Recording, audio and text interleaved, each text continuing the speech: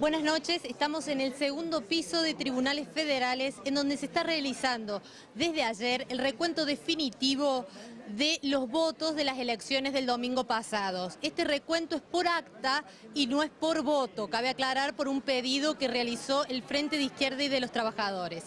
Aquí estamos con Eduardo Salas y Hernán Pudú, que son integrantes de la lista del Frente de Izquierda y de los Trabajadores, los cuales están, eh, han, han realizado un pedido de vuelta en la justicia para el recuento de 177 mesas. ¿Esto es así?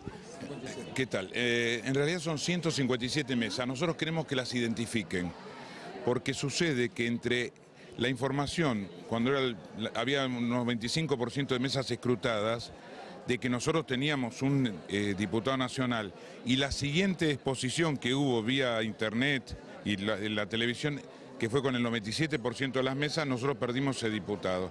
Y en el medio se cargaron 157 mesas, lo que surge de hacer una diferencia, y el problema es que en esas 157 mesas el promedio de votantes es de 368 votantes, cuando el promedio de la provincia es 260.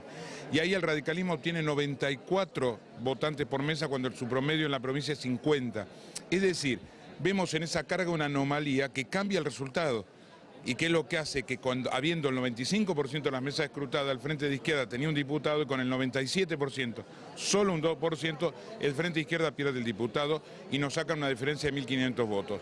Entonces nosotros, esto aparte de todos los problemas que tuvimos con las boletas de las PASO, que por eso pedimos que se abran las urnas, porque fueron impugnadas cuando el propio tribunal declaró que eran válidas. Y luego, con este problema de una carga sospechosa, que justo cambia el resultado, que no responde a ninguno de los eh, de los ítems con los que venía o las medias con las que se venía, nosotros queremos que nos digan cuáles son esas mesas que cargaron, cómo fue la carga, que nos describan absolutamente todo para poder intervenir sobre eso. Hernán, han permanecido desde las 8 de la mañana hasta, hasta ahora en tribunales federales tratando de registrar, de ver cualquier error que se produce en este reconteo de, de votos. Así, estamos peleando voto a voto. Ahora los compañeros están haciendo un recuento y vamos a ver cuánto este, descontamos hoy.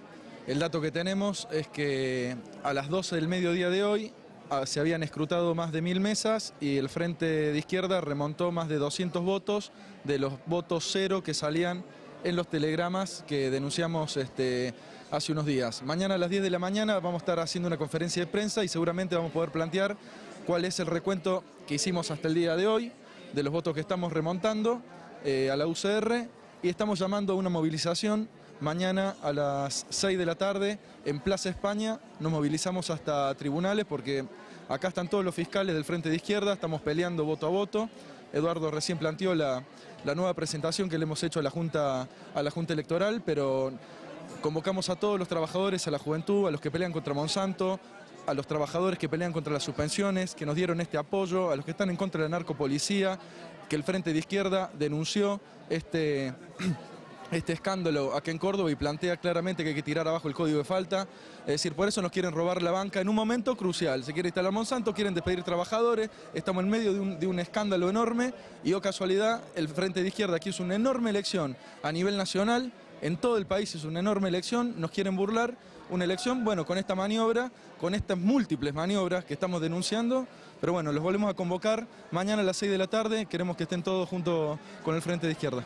Bien, la convocatoria, muchas gracias por, por, acercarse a este móvil, la convocatoria está hecha, va a haber una marcha mañana a las 18 horas y bueno, hay un gran movimiento acá en el segundo piso de tribunales federales. Adelante ustedes.